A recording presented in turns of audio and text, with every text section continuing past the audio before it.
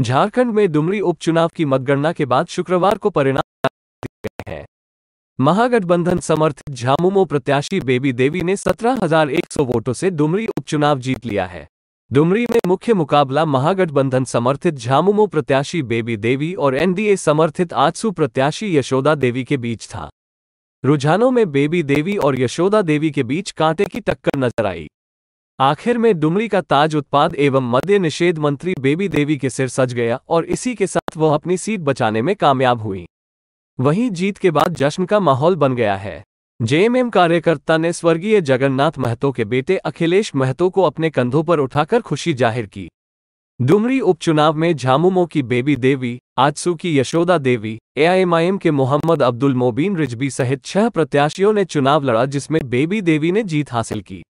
वहीं जीत के बाद जेएमएम के रांची कार्यकाल में भी जश्न का माहौल है।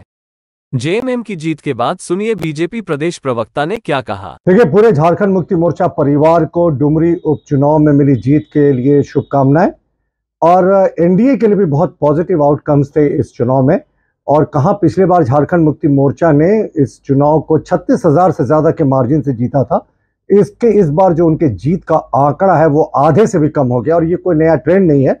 जितने भी उपचुनाव हुए हैं, जिनको इन्होंने अपनी सिटिंग सीटों को रिटेन किया, सब में इनकी मार्जिन पहले से आधा हो गई।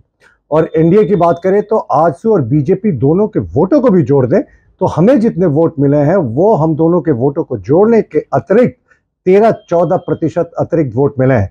यानी मुख्यमंत्री जी ने सिर्फ़ सहानुभूति और सरकारी तंत्र का सहारा लेकर इस चुनाव को जीता, लेकिन जनता ने सरकार के मिस गवर्नेंस को भी मुद्दा माना। बहरहाल मुख्यमंत्री जी और उनकी पार्टी को फिर से उनकी जीत की बधाई, लेकिन हमारे लिए भी इस हार में भी बहुत सारे पॉजिटिव पॉइंट्स हैं। अपने राज्य से जुड़ी हर ताज़ा खबरों के लिए आप हमें सब्सक्राइब करें, साथ ही बेल आइकन बटन दबाना ना भूलें।